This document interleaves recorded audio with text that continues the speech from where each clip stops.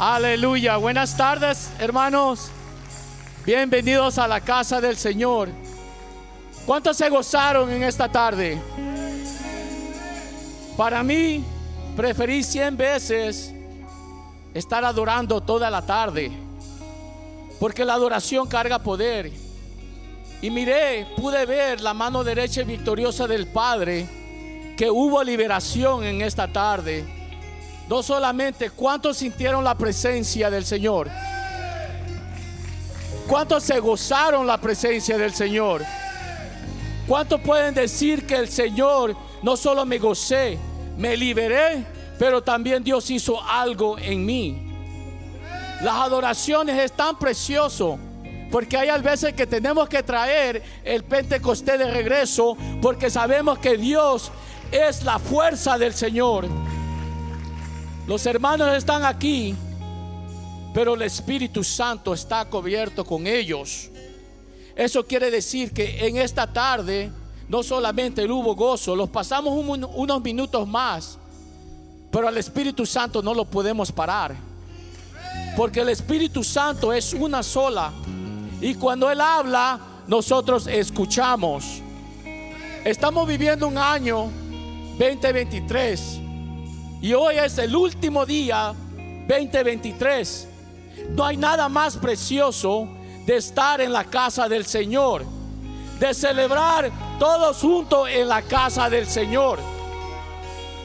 Yo me siento muy honrado y lo doy gracias a Dios porque hace más de 14 años yo pude estar en una barra, en una cantina, perdido el 31 de diciembre pero hay un Dios, mire, misericordioso y poderoso, que no solamente me sacó del alcohol, pero hoy, 14 años, prefiero estar en la casa del Señor. Hoy, terminando el año,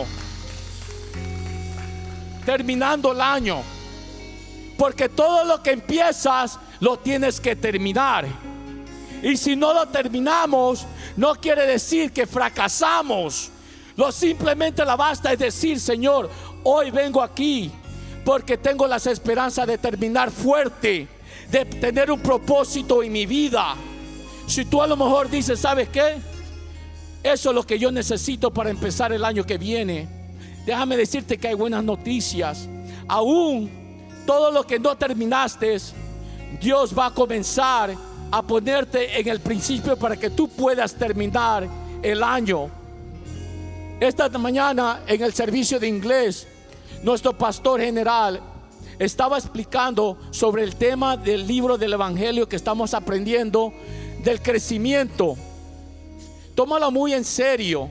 Ese libro de crecimiento, ese libro de devoción es algo muy especial que puede cambiar tu vida. No solamente tú vas a invertir, antes invertíamos cosas. Hay personas que hoy están invirtiendo cosas, comprando cosas en Amazon. Pero ¿por qué tú no te dices, yo voy a invertir en ese libro porque yo tengo un propósito para el año 2024? El diablo no te va a parar, pero Dios sí te va a lograr y te va a prosperar porque Dios quiere algo para ti. Entre medio de esta adoración, entre medio de las cosas del Señor, Hoy Dios va a hacer grandes cosas en tu vida. Hoy vamos a terminar con nuestras familias. Pero hoy lo vamos a llevar el gozo del Señor. Amén. Denle un fuerte aplauso a nuestro grupo de adoración. Muchas gracias hermanos. Muchas gracias. Antes de todos, feliz año. Pueden tomar asiento hermano. Bienvenidos a la casa del Señor. ¿Quién está aquí por primera vez? Levante su mano.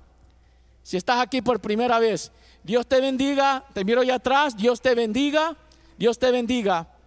Déjame decirte que tú estás aquí no porque es el último año, pero tú estás aquí porque estás comenzando el año 2024.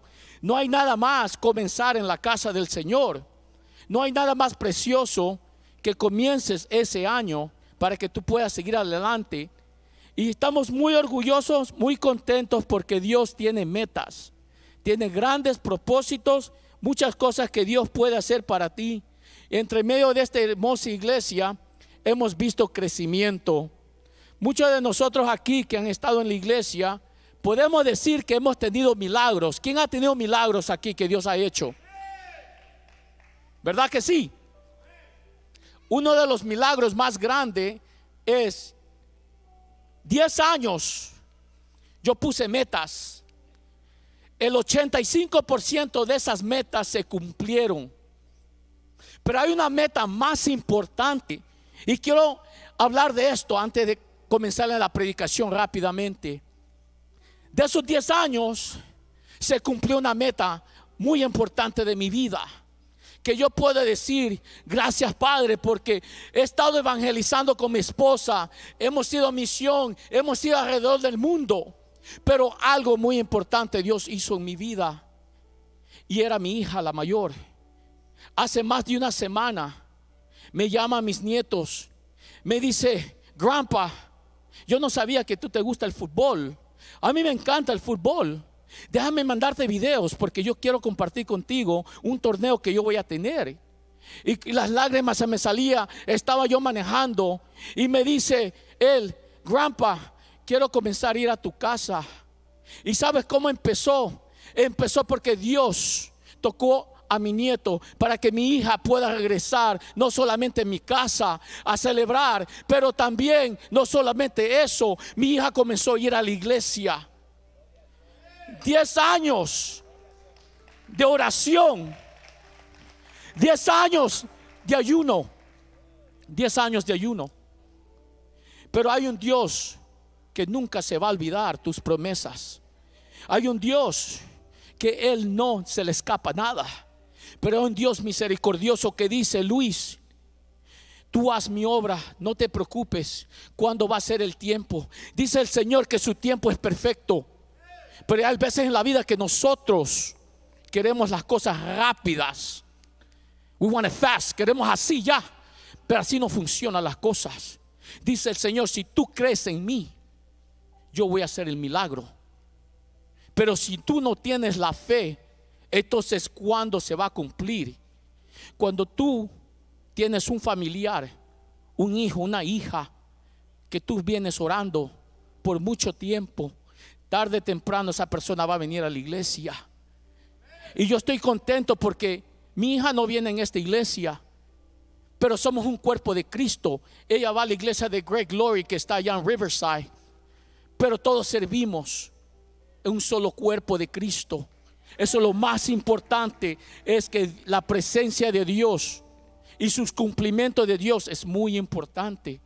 Quiero que sepas que hoy vamos a hablar de un tema muy especial y se llama termina fuerte, termina fuerte. Dios cumplió ese deseo que yo necesitaba. Ahora lo puede ser scratch, ya no está ahí, porque Dios ya cumplió. Ahora yo puedo tener estar con mi hija, compartir más tiempo, no solamente con las tres, porque mi hija nació en un momento del Evangelio, pero ella se apartó como el hijo pródigo. Pero hay un momento en la vida que tú tienes que celebrar y decir, Padre, gracias por esta celebración. Tú me puedes dar regalos, tú me puedes dar todo. Está bien. Pero el regalo más mayor, como lo prediqué la semana pasada, es lo que Dios te da. El regalo mayor es que algo que tú necesitas que sea cumplido. Amén. Quiero que en este momento vamos a orar. Quiero que compartan conmigo. Padre, te damos gracias, Espíritu Santo, por esta tarde, Señor. Señor, unge mi boca, Padre, porque yo no tengo nada que decir. Tu palabra, Señor, está aquí, presente, Padre. Gracias, Señor, porque en este mensaje, Señor, es para tu gloria. Tú tienes la victoria, Padre. Te pido, Señor, en oración por cada familia que representa tu nombre en esta tarde, Señor.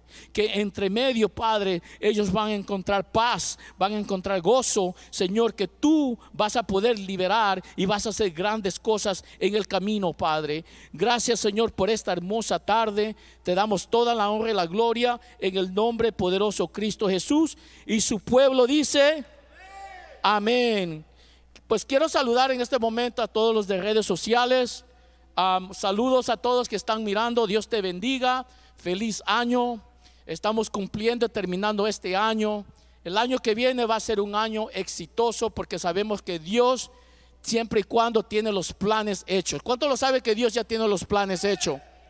Amén, amén. Gloria al Señor, gloria al Señor. Pues bienvenidos, gracias a la casa del Señor. Como ustedes pueden ver esta noche vamos a tener también servicio aquí en inglés. Nuestro pastor general va a tener un ah, mensaje muy especial para terminar el año a las nueve de la noche, que es hora de Nueva York, tres horas de diferencia, que ya son la medianoche. Vamos a dar nuestros ah, abrazos, pero de ahí ustedes pueden compartir también en su hogar con sus familias, sus seres queridos. Si ustedes tienen el tiempo esta noche, los invito a que pasen adelante. Se van a llenar de bendición y vamos a estar muy, muy gozando lo que es la palabra del Señor. Vamos a comenzar en este momento en Filipenses. Si tú tienes la Biblia, por favor, vamos a compartir Filipenses capítulo 1, versículo 6. Cuando lo tengas, di amén.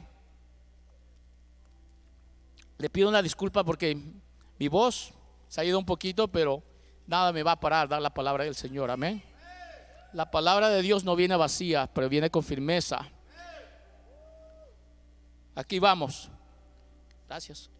Filipenses 1.6 dice, y estoy seguro de que Dios, quien comenzó la buena obra en ustedes, la continuará hasta que quede completamente terminada el día que Cristo Jesús vuelva. ¿Qué es lo que quiere decir? Lo que Dios comienza en un principio, Él siempre lo va a terminar.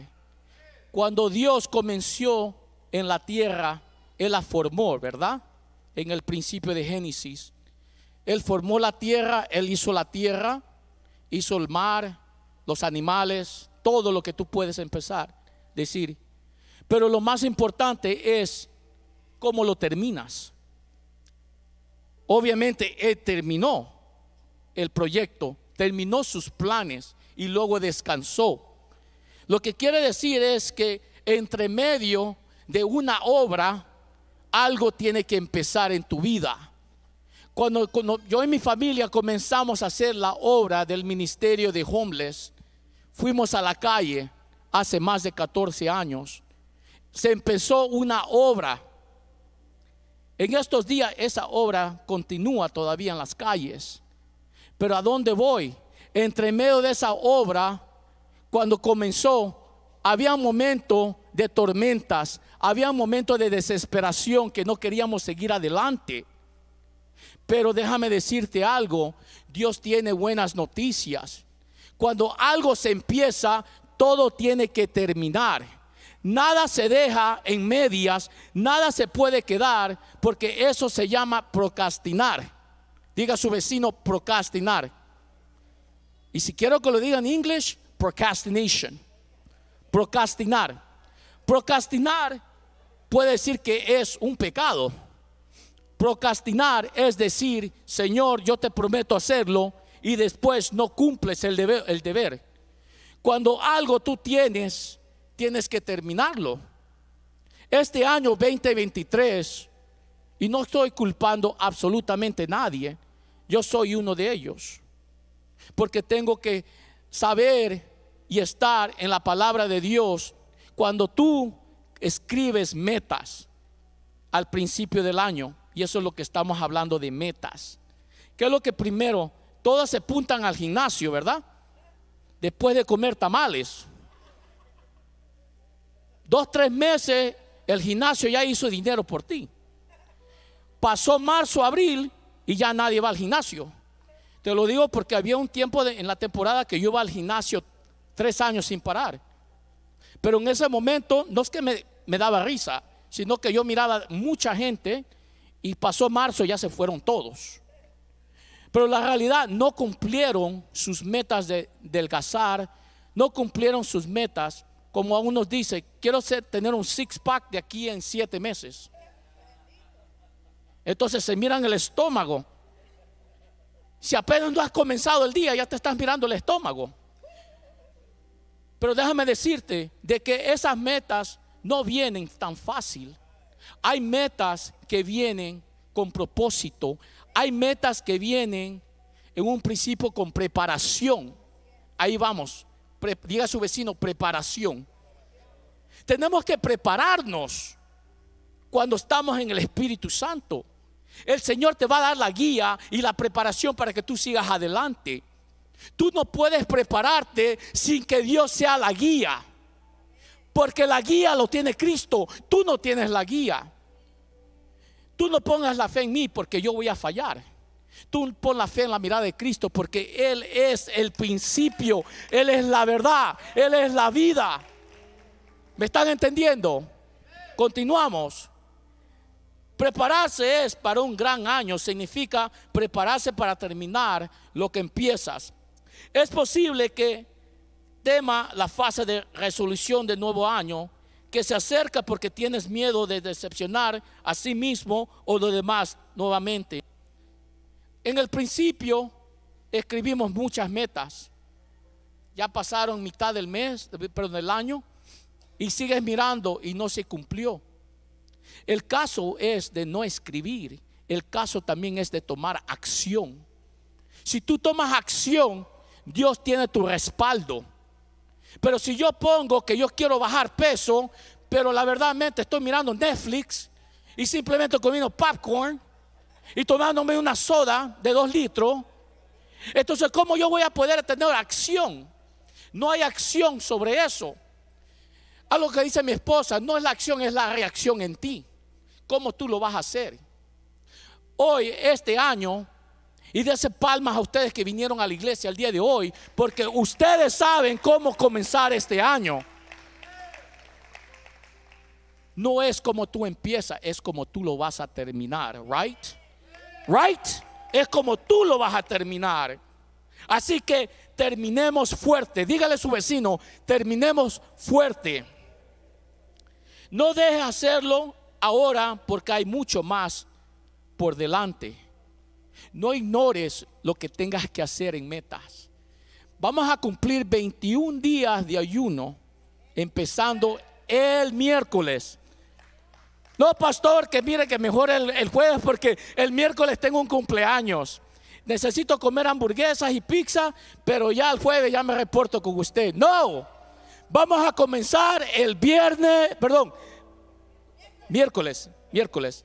El miércoles vamos a comenzar a ayunar 21 días. Así que no vayas a ayunar porque el pastor te lo impide. Ayuna porque tú quieres algo grande que Dios va a hacer en tu vida. El ayuno es el propósito para que tú te puedas acercar con Cristo el ayuno es el propósito para que tú puedas madurar con el Señor. El ayuno es para que tú puedas crecer en las cosas del Señor. Mi hija vino por el propósito de un ayuno. No fue por el propósito de Luis. Fue por el propósito de ayunas.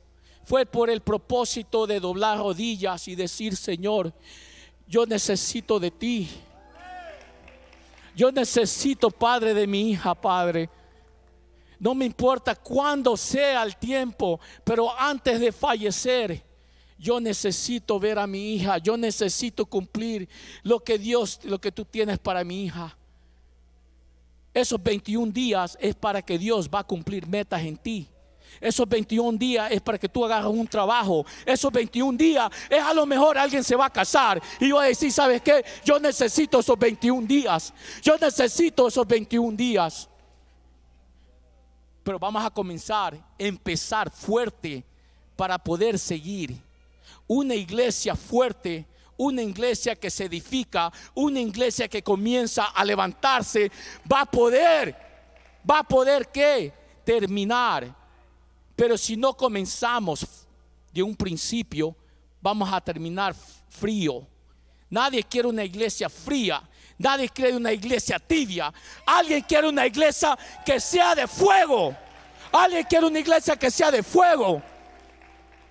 Yo quiero una iglesia de fuego. Pero no solo el pastor puede estar en fuego. Su pueblo tiene que estar en fuego. Aquí hay tres datos sobre sobre lo que estamos hablando. Número uno, es terminar algo es mejor que empezar algo. Así que date un inventario. Give yourself an inventory. Hazte un inventario. ¿Qué es lo que tenemos que agradecerle al Padre 2023? ¿Qué es lo que tú estás agradecido? ¿Qué es lo que Dios hizo por ti en este año? Yo sé que aquí hay personas que fueron sanados. El Espíritu Santo no me va a engañar. Hay personas que fueron aquí sanados. Hay personas que fueron liberados. Hay personas que Dios prosperó en ellos. Hay personas que sus matrimonios regresaron. Hay personas que sus hijos regresaron. Alguien me puede, alguien puede testificar eso. Levante su mano. ¿Quién puede testificar eso? El Espíritu Santo no engaña. Por eso dice bien claro, terminar algo es mejor que empezarlo. Te lo dejo de tarea. De lo que no te pudiste terminar 2023, aún hay buenas noticias. Continúalo 2024. Lo único que tienes que hacer es saltar el siguiente año y decir, no terminé, pero voy a comenzar. Hay un nuevo entre de lo que Dios quiere comenzar a entrar en ti. No es tiempo de caminar atrás. No es tiempo de decir yo vengo del pasado. Es tiempo de decir yo voy al futuro. Yo voy al presente. Yo voy hasta donde Dios diga que yo voy a ir. Dios quiere el futuro para ti. Dios no busca el retraso para ti. El retraso ya fue hecho. El retraso ya no lo puedes regresar. Pero lo que quiere Dios es que tú sigas adelante con el propósito. Dele un fuerte aplauso al Señor.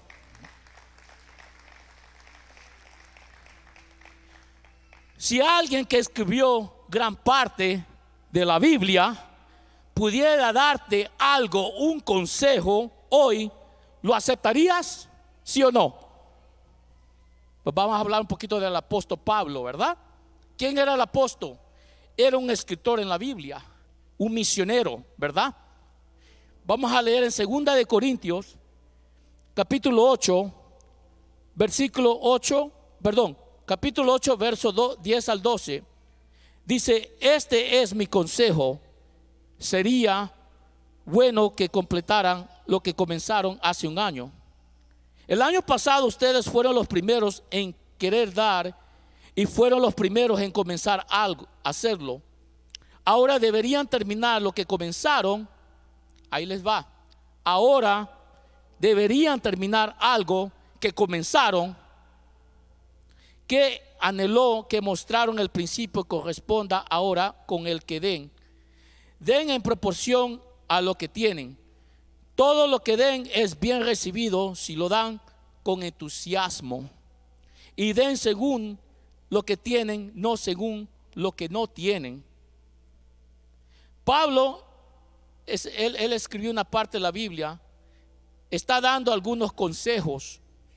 Claro, porque el consejo que él está dando es que comenzar de un principio, es hacerlo con entusiasmo, es hacerlo en acción, es hacerlo con amor, es hacerlo con anhelo, para que todo lo que tú comiences, lo comiences con energía, con un propósito. Amén.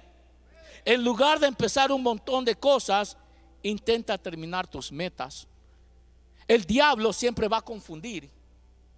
El diablo te va a confundir. El diablo es la persona que, ¿cómo se dice? Procrastinar. Hay un espíritu en este día de confusión. Hay un espíritu de confusión en este día que no quiere que tú cumplas tus metas.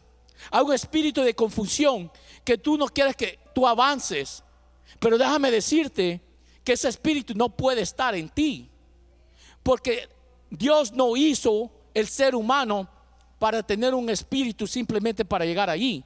Dios hizo un espíritu para prosperar. Dios hizo un espíritu para que tú puedas avanzar. Dios nunca se equivoca. ¿Por qué? Porque nosotros estamos aseñados que simplemente nomás podemos agarrar un poquito y no seguir adelante.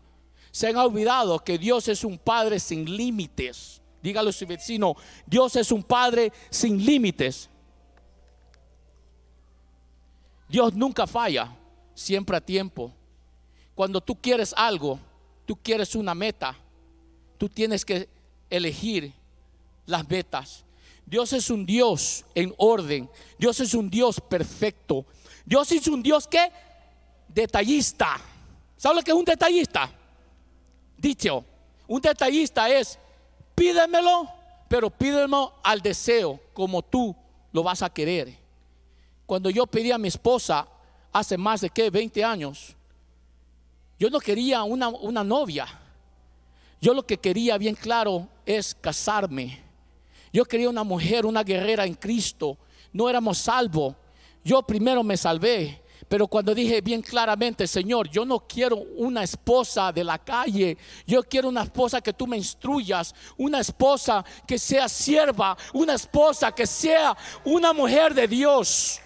¿Se dan cuenta? ¿Qué es lo que estoy hablando? Detalles. El día de hoy Dios te dice, hay que empezar el año 2024 en detalles. Yo no quiero que me des la miseria, yo quiero que seas en detalles, porque cuando Dios cumple, Él cumple en detalles. Él cumple en orden, amén.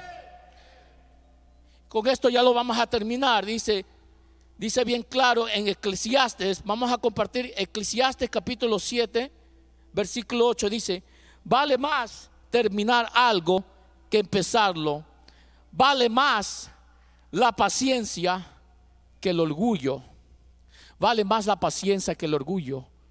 Yo esperé 10 años por mi hija. Eso se llama paciencia, right? Muchos que hubieran pasado se hubieran ofendido con Dios, hubieran tirado la toalla. Muchos lo hubieran culpado al Señor. Decir, ¿sabe qué? Esto no funciona. He estado pidiéndole al Señor y como que me, ignora.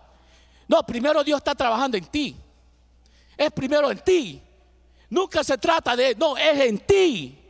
Nunca vayas a pedirle algo al Señor. En primero tú decir, Señor, yo soy el que tengo que perdonar. Yo soy el primero que tengo que doblar rodillas. Yo soy el primero. Yo soy el primero que tengo que entregar a mi vida a Cristo para que lo demás pueda entrar. Así es como funcionan las cosas de Dios.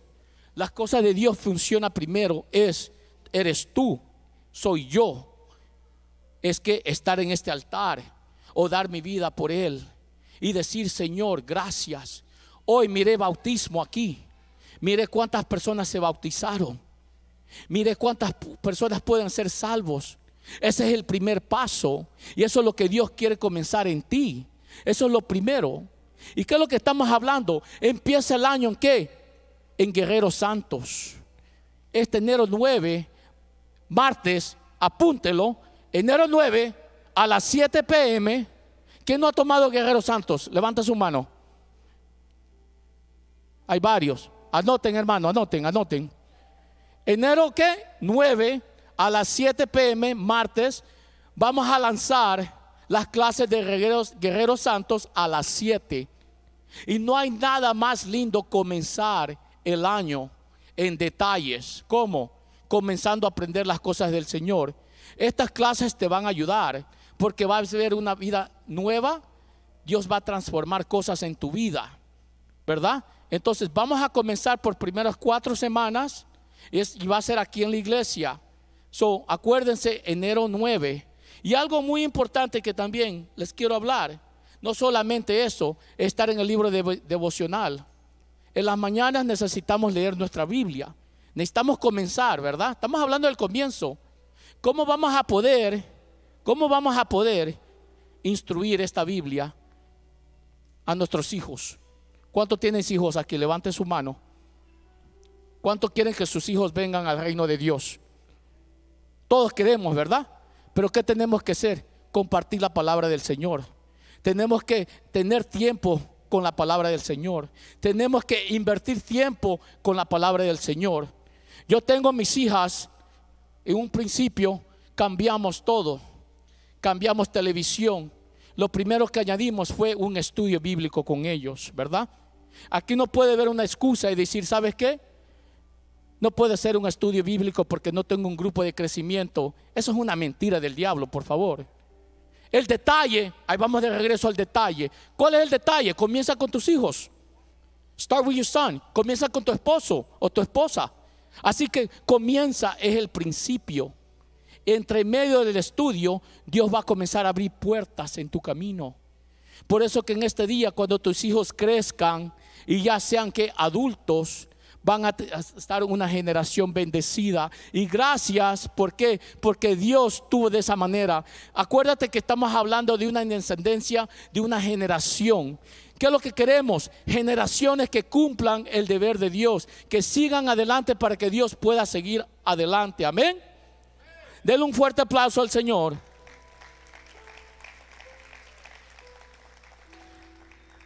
En Santiago, capítulo 1, versículo 12 dice, Dios bendice a los que soportan con paciencia las pruebas y las tentaciones, porque después de superarlas recibirán la corona de vida que Dios ha prometido a quienes lo aman.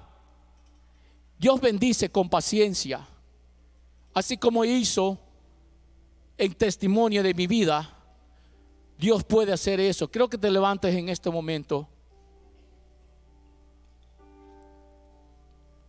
¿De qué es lo que estamos hablando? ¿De qué testimonio estamos hablando? Hay muchos de nosotros en esta tarde que Dios quiere hacer cosas en tu vida. Hay milagros que Dios está comenzando a trabajar en ti. Pero ¿por qué esperar al último minuto? Cuando Dios tiene que el control en tu vida. Dios puede comenzar algo nuevo. Yo que sé, tú viniste hoy a la iglesia porque es el mejor lugar de estar aquí. Pero ¿por qué no solamente escribir metas, pero también estar en oración? Tenemos un grupo aquí del altar en este momento. Los vamos a invitar al altar y también a los músicos. Pero quiero intencionalmente en sus mentes, en su corazón, que pueda decir, hoy yo necesito de Dios. Hoy yo necesito comenzar con Dios. Yo necesito algo nuevo, un comienzo nuevo. ¿Cuántos quieren un comienzo nuevo el día de hoy? Levante su mano. Levante su mano. ¿Cuántos puede decir yo necesito un comienzo?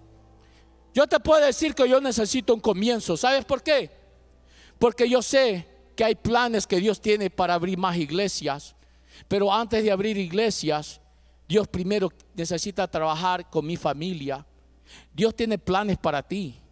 ¿Cuántos tienen familia que pueden decir, sabes qué? Yo necesito mi familia en la iglesia. Levante su mano. ¿Cuántos pueden decir, yo necesito familia, mi familia que venga a la iglesia? Mi familia mañana va a venir a mi casa. Hoy no pudieron llegar a la iglesia, pero está bien. Pero algo tiene que comenzar, ¿right? ¿Cómo? Invitarlos a la casa, amarlos, darles de comer, estar con ellos. Pero aún Dios cuando ellos miran el propósito y dicen, yo quiero algo, yo necesito la felicidad. Hay familias tristemente que quieren felicidad, pero no lo tienen porque hay adicciones.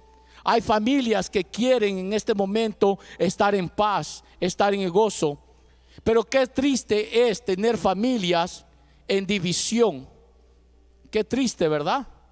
Pero déjame decirte que un Dios perfecto que Él puede unir toda familia. Si tú necesitas esa familia, decir, yo necesito que mi familia esté más cerca de mí, entonces necesitamos hacer algo grandemente, es que seguir adelante con los planes de Dios y estar con ellos en todo momento. Hay un Dios que quiere abrir puertas en este momento. Hay un Dios que quiere superar en tu vida. Hay un Dios que quiere hacer grandes cosas contigo. Pero ¿qué esperas? Necesitamos ese apoyo de Dios para que Dios pueda comenzar adelante, ¿verdad? ¿Cuántos tienen, quieren familias que se salven el día de hoy? Lo que quiero que haga, vamos a hacer algo muy importante. Van un poquito. Vamos a hacer algo muy importante. Quiero que aquellas personas que levanten su mano y digan, ¿sabes qué? Yo tengo familias que van a venir. Yo voy a hacer una oración contigo pero antes de todo, yo quiero dar, yo quiero hacer una oración muy especial, una oración de salvación. Si a lo mejor tú vendiste hoy por primera vez y dijiste, ¿sabes qué? Yo necesito tener una relación con Cristo. Acuérdate que Dios murió en la cruz del Calvario. No lo tenía que ser, pero Él lo hizo. ¿Sabes por qué? Por tú y yo. Para que nosotros podamos ser salvos y porque éramos pecadores en ese momento, para que Dios pueda salvar y no solamente perdonar nuestros pecados, pero hoy Dios dice a ti, yo quiero tener una relación contigo, hijo. Lo único que tienes que hacer es abrir tu corazón y tu mente y decir, Padre, aquí estoy. Yo quiero dar mi vida contigo, Padre. Quiero comenzar un nuevo comienzo para que Dios pueda entrar. Si eres tú, voy a contar tres. Simplemente lo que tienes que hacer es levantar tu mano y decir, aquí estoy, Señor. Y lo único que quiero que hagas después es que vengas aquí, queremos orar contigo. Voy a contar, uno, dos, tres. Alguien aquí quiere dar su vida a Cristo. Te miro allá atrás, hermana. Gloria al Señor. ¿Alguien más quiere dar su vida a Cristo el día de hoy?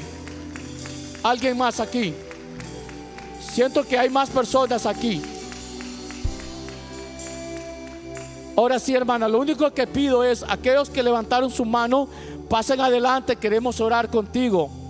También para empezar este año, si quieres reconciliar tu vida con Cristo o restaurar tu vida con Cristo, o a lo mejor necesitas oración por cualquier motivo, ya sea por un trabajo, ya sea por una causa, pasa adelante, queremos orar contigo, queremos que te lleves con la bendición del Señor. Amén, gloria al Señor, gloria al Señor. Vamos a orar en este momento, vamos a orar en este momento. Quiero que todos compartan conmigo esta oración. Vamos a ver en oración. Diga, Señor Jesús, te damos gracias por esta tarde. Señor Jesús, perdónanos por nuestras ofensas, por nuestros pecados. Señor Jesús, quiero comenzar este año 2024 con algo nuevo con un comienzo. Ayúdame a hacer las cosas a tu manera. Perdóname por no terminar la tarea. Pero hoy comienzo en tu presencia. Ayúdame a sacar todo lo malo. Hoy quiero tu visión, quiero tu propósito. Ayúdame a hacer las cosas bien y no del mal. Gracias por morir en esa cruz y resucitar el tercer día, por darme vida eterna. Hoy me llevo tu salvación. Escribe mi nombre en el libro de la vida y te doy gracias por darme un futuro, esperanzas y una visión. En el nombre poderoso Cristo Jesús. Y su pueblo dice, amén. Feliz año a todos. Feliz año. Lo vemos la semana que viene. Acuérdense, muy importante, el miércoles vamos a comenzar el ayuno de 21 días. Así que no se olviden. Y para el día 9 de enero vamos a comenzar Guerreros Santos. Dios me los bendiga, que tengan buenas tardes.